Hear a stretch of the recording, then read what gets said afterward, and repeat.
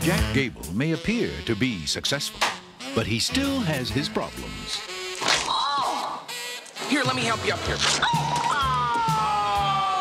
Especially with women. Jack, when are you going to stop kidding yourself about Laura? There's nothing going on between me and Laura. I know that. but do you?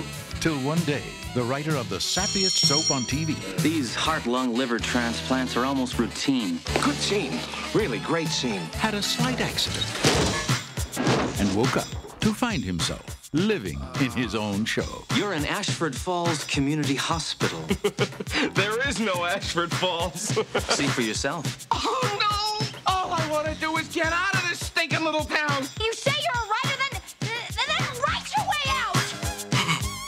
What's the rush? Where am I running?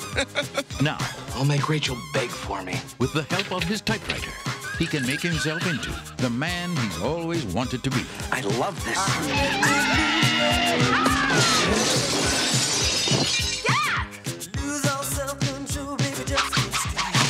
But suddenly, things just aren't going according to the script. I didn't write any of this.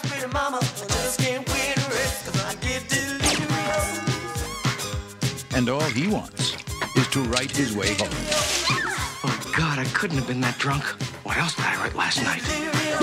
But getting there will require the minimum of typos. The bartender needs more cold deer. Not deer. Beer. John Candy, I know this may sound crazy, but I created this whole town.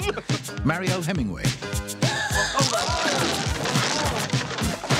Emma Samms, He has this strange power over me. Raymond Burr, What the hell is going on around here?